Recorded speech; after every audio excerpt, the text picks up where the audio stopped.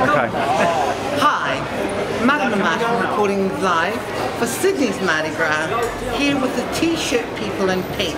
We're just going to ask them a few questions. So, why have you all dressed in pink, my love? It's Mardi Gras. Yeah, we're volunteering for Mardi Gras on the parade route. And you're obviously from England. Yes, yes, we're all from England. You're all from England. I'm from Yorkshire. And you know what they say about Englishmen, don't you? You have eight-inch foreskins and we can use them as hula hoops. Is that correct, my love? Is it? Delicious. Show us. And how is living in Australia, my love? Oh, fantastic. I live here. These are visitors. Yay, welcome to Australia. Now, can we, yeah, can we have a big, huge welcome to Mardi Gras Sydney 2017 after four?